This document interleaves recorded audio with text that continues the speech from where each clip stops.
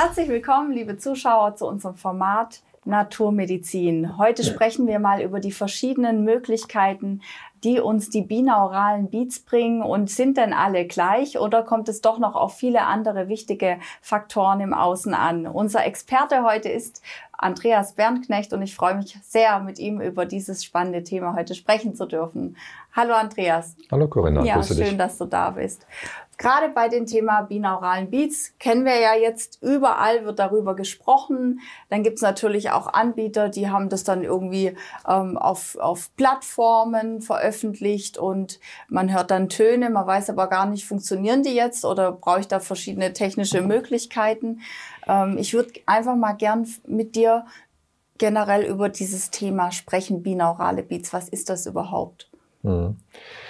Hype oder Hype, ja, genau. Ähm, also wir sehen das ja, wir haben ja im Prinzip, kann man sagen, in Deutschland sind wir so, die das ja so salonfähig gemacht haben. Mhm. Oder im deutschsprachigen Raum. Und ich mache das ja schon seit 20 Jahren. Ich habe da schon 2009 mit angefangen.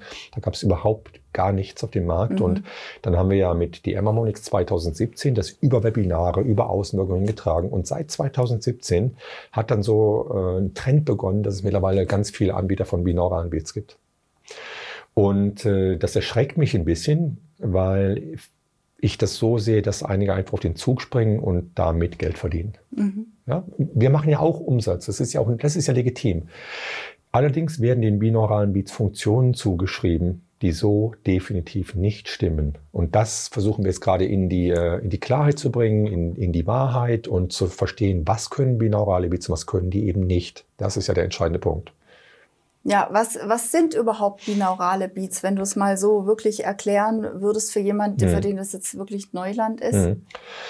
Ähm, das kommt ja auch, der Begriff binaurale Beats kommt aus dem Englischen. Ja, also man, das ist im Prinzip an, an zwei Ohren, hört man unterschiedliche Töne. Mhm. Und das Interessante ist aber der Hintergrund davon. Und zwar ein deutscher Physiker, der hat 1839 das bereits in seinem Physikbuch im dritten Band äh, beschrieben. Die haben damals mit Tönen gearbeitet und die haben festgestellt, wenn man an einem rechten Ohr und am linken Ohr Töne direkt anliegen, die leicht unterschiedlich sind. Und unterschiedlich heißt eine unterschiedliche Schwingung. Das heißt, ich mache es mal bei einer Frequenz von 200 Hertz. Das heißt, das sind 200 Schwingungen, die hier ankommen auf dem, auf dem Ohr, mhm. am Trommelfell. Und hier 203. Dann sind das drei Hertz Unterschied. Und wenn die sehr dicht beieinander liegen, dann ist das menschliche Hörvermögen nicht in der Lage, zwei Töne zu hören. Und dann haben die festgestellt, dass die Menschen so ein komisches Klopfen im Kopf hatten. Also so ein Schwingen, ein Wabbern manche. Das ist unterschiedlich. Das ist wie so ein, ein komisches Brummen. Ja? Und bei drei Hertz heißt es ist dreimal pro Sekunde. Das ist wie so ein, Brrrt, ein Ton, der da ist. Und das Interessante ist, das ist gar kein Ton. Und das weiß man heute. Das ist, und das wird oft erklärt, der binaurale Ton. Aber den gibt es eigentlich gar nicht. Sondern es ist dieser Unterschied. Und es gibt hier zwei kleine Kerne in den Gehörgängen. Die sind da drin und die brauchen wir, um Geräusche zu lokalisieren. Das heißt, wenn zum Beispiel von rechts ein Ton kommt, dann kommt er ja zuerst am rechten Ohr an. Und bis er nach hinten irgendwo reflektiert kommt, kommt er in Bruchteil Millisekunden später am linken Ohr an. Und aufgrund dieser kleinen Unterschiede wissen wir, das Geräusch kommt von da okay. oder von mhm. da. Das ist faszinierend, was wir da können. Und genau diese kleinen Kerne, die fangen an, in dieser Schwingung zu schwingen. Zum Beispiel drei Hertz. Wenn man sich jetzt diese Töne hört, man legt sich hin, macht die Augen zu, dann passt das Gehirn sich dieser Schwingung an. Das wären in dem Fall drei Hertz, dauert so sieben bis elf Minuten im Schnitt. Und das würde bedeuten, dass man dann bei drei Hertz im Tiefschlaf ist, das ist der Delta-Bereich. Da gleitet man einfach hin. Also ein normaler Prozess, den man sonst, wenn man sich ins Bett legt, manchmal ewig braucht. Das heißt, das Gehirn durchwandert alle Frequenzen bis in diesen Bereich und ich schlafe. Ja, das, das ist normal. Genau das machen binaurale Beats. Mehr können die nicht. Das, das ist eins, was die können. Die okay. haben keine Wirkung, die verändern nicht die Lebensqualität, die bringen mir keine Problemlösung. Und genau das wird binauralen Beats aber oft zugeschrieben. Und genau damit versuchen Menschen dann Produkte zu verkaufen, die das gar nicht können. Ja, wir nutzen binaurale Beats, um das Gehirn in den Zustand bekommen, wo ich es haben will. Meditation zum Beispiel, Tiefschlaf oder REM-Phase. Wir haben ja was zum Thema Schlafen. Ja? Oder zum Beispiel im Alpha-Zustand. Wir haben Audiodateien, die sind im Alpha-Zustand, weil ich dort etwas visualisieren soll. Mhm. Ja, das heißt, äh, das sind dann unterschiedliche Frequenzen ich mache das so lange. Es ist ein Unterschied, ob man zum Beispiel das bei 1,5 oder 2,5 Hertz hat oder 6,4 oder 5,9. Da passieren unterschiedliche Dinge im Organismus. Und wenn man das Wissen nicht hat, halte ich das für eine gefährliche Sache, denen etwas zuzuschreiben, was sie nicht können. Und dann äh, wundern sich die Menschen, warum es nicht funktioniert. Im Prinzip wird dadurch der ganze Bereich quasi schlecht gemacht. Okay. Ähm, hängt das auch mit der Qualität zusammen? Also brauche ich es in einem gewissen Format, die Datei? dass ich es gar nicht so im Internet einfach so abspielen lassen kann? Das ist jetzt sekundär erstmal. Okay. Da reicht eine MP3-Datei, das reicht aus. Mhm. Äh, das Entscheidende ist die Methode. Mhm. Und das ist ja das, was wir haben auch mittlerweile schützen lassen. Und das ist ein Erfahrungsschatz bei mir aus 40 Jahren, aus extremsten Lebenssituationen. Also das, was ich dort gelernt habe. Und ich bin da ein, ich habe zweieinhalbtausend Bücher gelesen mhm. in meinem Leben. Ich habe Seminare besucht. Ich habe krasse Lebenssituationen dort. Und ich bin der, der alles anwendet. Ich habe alles ausprobiert. Bei mir ist das so, wenn ich ausprobiere, immer bis ins Extrem. Also ich teste das bis über die Grenzen hinaus mhm. und dann gewinne ich meine Erkenntnis und sage, was funktioniert, was nicht, was ist sinnvoll.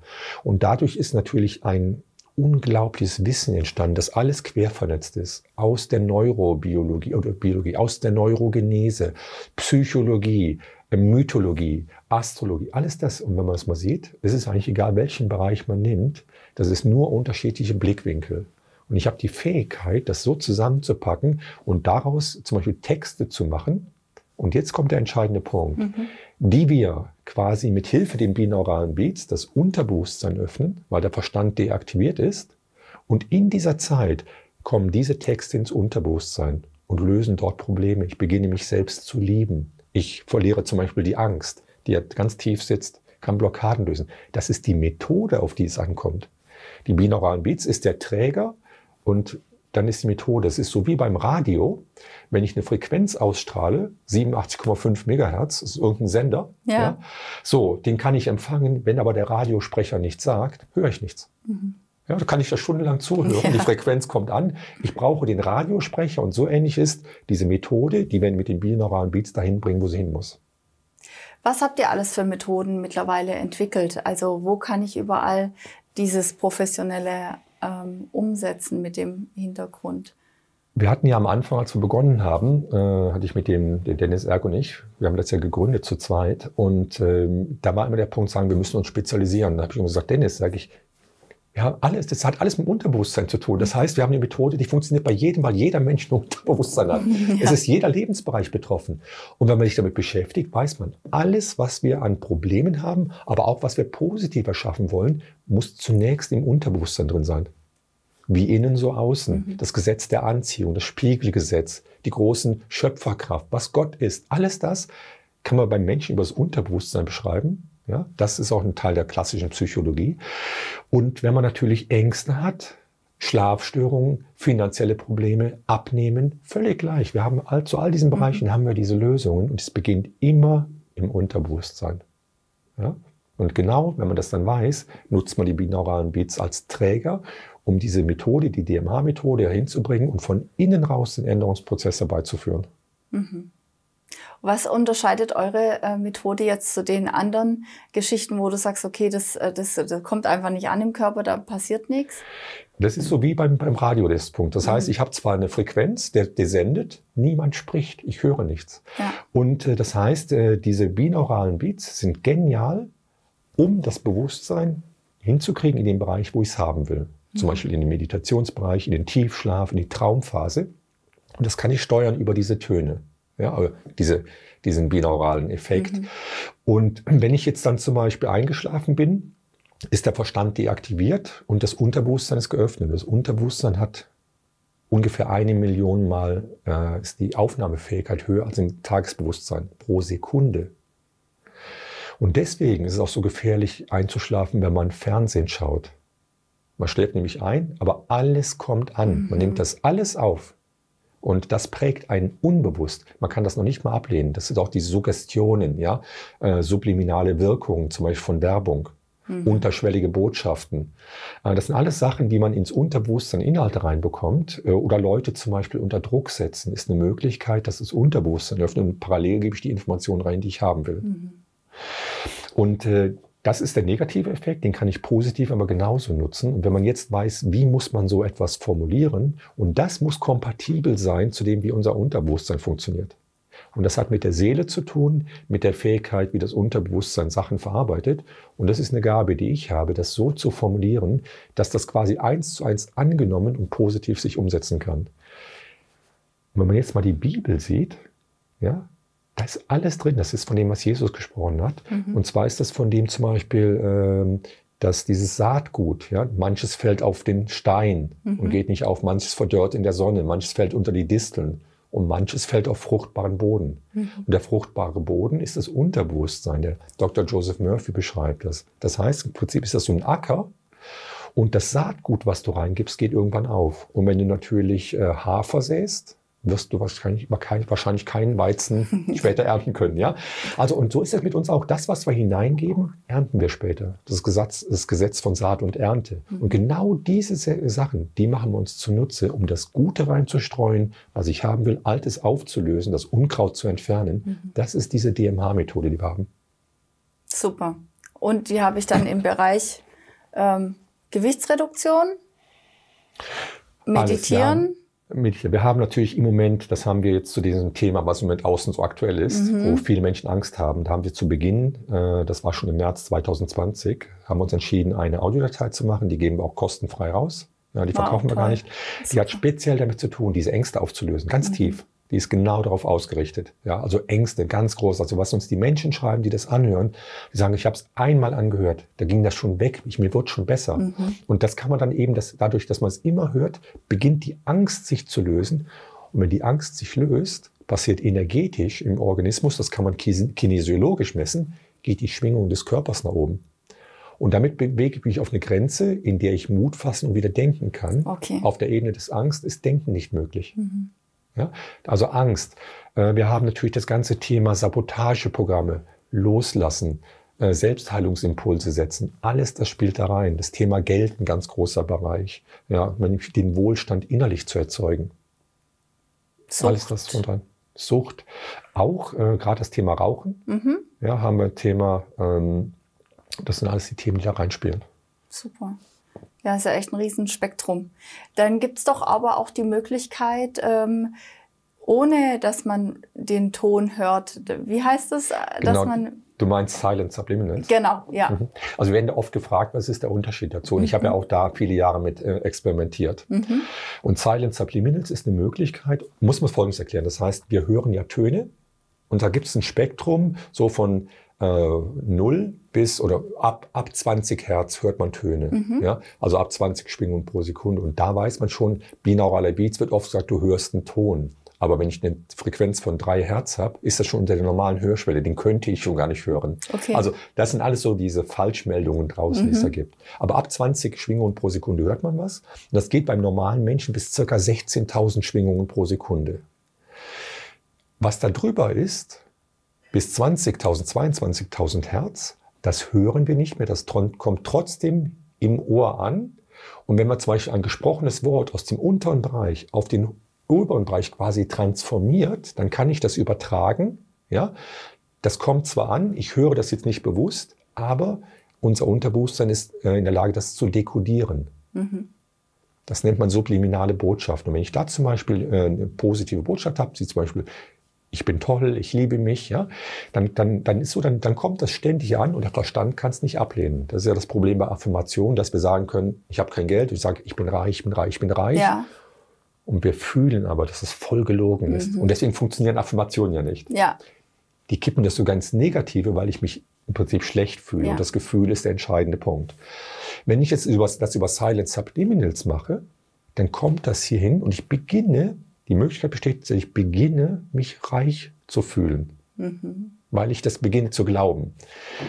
Ich habe aber da viel getestet. Der Punkt ist nur, wenn ich finanzielle Schulden, also Druck habe, ich habe kein Geld. Und jetzt höre ich mir etwas an, was ich nicht höre.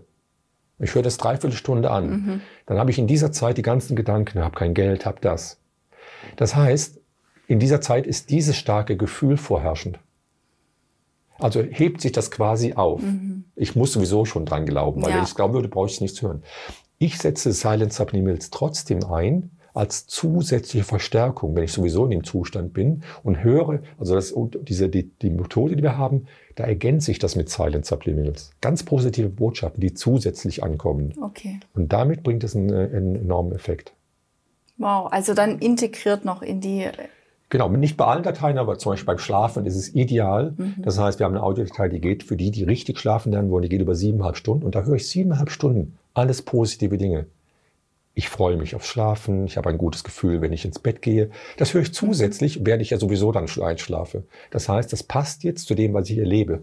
Okay. Und dann sind Silent Supplementals aus meiner Erfahrung sehr wertvoll. Alleine sind die deswegen schwierig, weil ich ja nichts höre. Ich habe das Gefühl, ich verschwende Zeit und ja. ich habe meine Sorgen im Kopf in der Zeit. Ja, ja. Also das ist das, was dann kontraproduktiv ist. Okay, aber gut, es, die Leute öffnen sich ja für diese Methoden und ähm, werden ja sensibler, auch in sich reinzuspüren. Also da verändert sich ja dann schon auch was. Genau. Von den das, deswegen ist ja das, ist ja nicht umsonst, dass wir die Methode so haben, mhm. wie wir sie haben, weil es aus meiner ja. Erfahrung das ist, den Teufelskreis durchbrechen, ja, ja, eben hingehen, gute Informationen reinkriegen, die förderlich sind. Ich nutze die Fähigkeit meines Unterbewusstseins. Und das ist so mächtig, das wird nur unterschätzt weil die meisten Menschen gar nicht verstehen, was das Unterbewusstsein ist. Mhm. Und weil das nicht erkannt wird, gibt man dem so wenig Bedeutung. Das ist so, wenn, wenn ich mit Menschen spreche, auch mit Psychologen, ich habe da viele Gespräche, ja, dann rede ich mit denen, sage ich, was ist das Unterbewusstsein? Das ist mal eine interessante Reaktion. Das ist völlig diffus. Mhm. Und deswegen glaube ich auch, dass die klassische Physik auf einem Holzweg ist, weil das entscheidende Element wird außen vor gelassen, das ist Gott. Und das darf ich nicht außen vor lassen. Und dann habe ich alles Erklärungsversuche, die unnötig sind. Dann wird das mit dem Gehirn und biologische Sachen und äh, zum Beispiel dann, wir sind eigentlich so wie ähm, Oxytocin, Dopamin, ja, da passiert das Endorphine, Glückshormone und mhm. sowas. Wir sind irgendwie auf so eine biochemische Maschine reduziert. Ja, aber ich weiß, dass ich da mehr bin. Ich weiß das von mir. Und wenn ich jetzt natürlich äh, aber so programmiert bin und wenn ich dann zum Beispiel mich als unvollkommenes Wesen wahrnehme, ich kriege das nicht auf die Reihe, da habe ich Probleme, mit dem habe ich Stress, Beziehung ja. funktioniert nicht, dann ist es so, dann äh, identifiziere ich mich ja mit dem, was ich bin. Und jetzt habe ich ja eins, ich habe einen, oder ich, ich glaube, ich habe so einen Körper und der wird definiert durch die Grenze des Körpers, die Haut. Mhm. Es gibt das, was inner, das, was ich bin. Ich gucke aus dem Kopf heraus, da sind die Augen, ich höre die Dinge. Und irgendwie habe ich das Gefühl, ich gucke aus dem Körper raus. Den kann ich auch so wahrnehmen, wenn ich drauf gucke, meinen Körper. Und alles, was in diesem Körper ist, bin ich. Und alles, was außerhalb ist, das sind die anderen und die Umwelt. Es ist von mir getrennt. Die Trennung ist da schon drin. Mhm. Und da kommen ja auch all die schlimmen drin, die Briefe, die ich nicht öffne, ja, der ja. Partner, der mich nervt, mein Chef, der mich drangsaliert. Alles das ist am Außen. Und irgendwie soll dann in diesem unvollkommenen Wesen, das sich nicht wirklich liebt, das so viele Probleme hat, Leben nicht auf die Reihe kriegt, da soll ein mächtiges Unterbewusstsein drin sein, das die Welt beeinflusst. Also da schaltet es ab. Und das ist das, weil man sich da kaum mit beschäftigt, wie das wirklich zusammenhängt. Und aufgrund dessen wird dem so wenig Kraft gewidmet. Wer sich damit beschäftigt, über Mythologie, Quantenphysik, äh, Neurobiologie, neuesten Erkenntnisse, wer sich über all das beschäftigt, erkennt, dass da irgendwas anders zu sein scheint. Ja, wer sich mit Religion, solchen mhm. Dingen beschäftigt, und da erkennt man, dass es offensichtlich ein Schöpfungsprinzip gibt, was in diese Welt hineinwirkt und Einfluss drauf hat. Und wenn das so wäre, ich mache es mal in der Möglichkeitsform, dann würde man die Kraft verstehen. Dann weiß man, das, was sich hier in das Unterbewusstsein hineingibt, und das ist nicht im Körper, das ist ganz wichtig, dann verändert sich die Welt draußen. Dann habe ich Einfluss drauf. Und ich sage das deswegen, weil ich 100 Prozent so lebe und ich das in ganz vielen Bereichen bestätigen kann. Man mhm. kann die Dinge erschaffen, die man wirklich möchte. Ja. Wo liegen denn deine Herzensthemen noch? Was möchtest du noch mit den binauralen Beats erschaffen oder wo sind deine Visionen noch? Wo soll es hingehen? Ich, ich mache das ja schon sehr lange. Mhm. Und ich habe etwas, da glaube ich ganz tief dran, wenn man das mal versteht. Es gibt eine Geschichte, die kommt aus dem Arabischen. Und da ist ein Mann, der wollte die Welt verändern. Und während er sich mit beschäftigt hat, gesagt, da war ihm klar, er kann die Welt nur verändern, wenn er die einzelnen Länder verändert. Und als er das so gesehen hat, war er klar, das wird er nur schaffen, wenn er die Gemeinden verändert da drin, weil das ist dann kleiner. Und als er das gesehen hat, wusste er, er muss erstmal die Familien verändern. Und als er ihm das bewusst wurde, wurde, hat er klar gesagt, die Familie kann er nur ändern, wenn er sich ändert. Ja, das war ihm dann so klar, diese Reise. Und das ist ja das, was erkenne dich selbst. Und was ich sehe, was ich für eine Außenwirkung habe, wie viele tausend Menschen uns sich die Webinare anschauen, teilweise in der Woche, wie viel Feedback wir kriegen, wie viele Menschen das ändern, ist das, was ich schon immer wusste. Ich muss beginnen, ich muss es vorleben. Und ich glaube, das ist die Zeit jetzt, und das ist meine Vision, ganz viele Menschen zu erreichen, die innerlich die Ängste verlieren, die aufwachen, die wie ein Leuchtturm das Feuer nach ausstrahlen, andere beeinflussen. Und wer sich mal mit äh, diesen Gesetzen auseinandersetzt, zum Beispiel ähm, morphische Felder, Rupert Sheldrake, der weiß, dass jede Entscheidung, alles, was ich tue, unbewusst auf andere Nein wirkt. Und ich glaube dann, wenn wir das schaffen, genug Menschen hinzukriegen, wird sich etwas ändern, weil von innen raus der Prozess passiert. Und äh, ich habe das mal auf einem Webinar erklärt. Ähm, es gab eine Zeit, jemand, äh, ähm, Thoreau heißt er, das war der Erste, der hat sich in, in den beginnenden USA, hat er keine Steuern bezahlt. Mhm. Und zwar, weil mit den Steuergeldern der Südstaatenkrieg finanziert wurde. Und hat er gesagt, ich finanziere das nicht, ich zahle keine Steuern. Ja? Und der ist dafür für seine Überzeugung inhaftiert worden. Und er hat aber in dieser Zeit Bücher geschrieben, das nennt man heute ziviler Ungehorsam. Mhm. Das war der Beginn. Es gibt zwei große Menschen, unter anderem zwei, Martin Luther King und äh, Mahatma Gandhi haben sich von dem inspirieren lassen. Mhm. Die haben genau das weitergetragen und haben andere inspiriert, haben große Dinge bewegt. Und ich glaube, dass jetzt eine dritte Phase kommt, die noch anders ist. Und zwar glaube ich, dass jetzt jeder, wenn er sich bewusst wird, dass er ein Schöpferwesen ist, sagt, ich bin der eine von einer Million. Ich bin schon mal da. Nicht, ja. ich warte, bis die anderen 999.000 sind, dann mache ich auch mit, sondern ich bin der, und das ist meine Vision, da Menschen zu erwecken, sagen können, ich bin der eine und da ist noch einer und da und da. Und in der Vernetzung entsteht etwas, was dazu führt, dass auf dieser Welt ein Wandel möglich ist, von innen heraus. Mhm. Das ist meine Vision. Schön. Tolles Schlusswort. Ganz toll. Ja, dann hoffen wir, dass das jetzt alles äh, seine Wege findet und Vielen Dank für deine tolle Arbeit. Wenn man sich zum Thema binaurale Beats noch informieren möchte, wo gibt es da ähm, Möglichkeiten? Äh, am besten auf unserer Webseite unter dm-harmonix.com oder wenn man am Puls der Zeit sein will, einfach über Instagram unter andreas.bernknecht. Da bin ich zu finden. Da mache ich sehr, sehr viel, sehr aktiv und gibt sehr viel Inhalt so kostenfrei raus. Super. Vielen, vielen Dank. Schön, dass du da warst und bis bald. Danke. Ja. Liebe Zuschauerinnen und Zuschauer, Sie können gerne weitere Informationen zu unseren Gästen auf unserer Webseite finden, www.qs24.tv. Ähm, ja, da finden Sie viele Interviews. Sie können auch einen Like-Button drücken, dass Sie erinnert werden, sobald neue Videos erscheinen bei uns. Ja, und äh, ein bisschen durchgucken, welche Themen Sie noch interessieren. Ich wünsche Ihnen dabei viel Spaß und eine wunderschöne Zeit. Bis bald. Tschüss.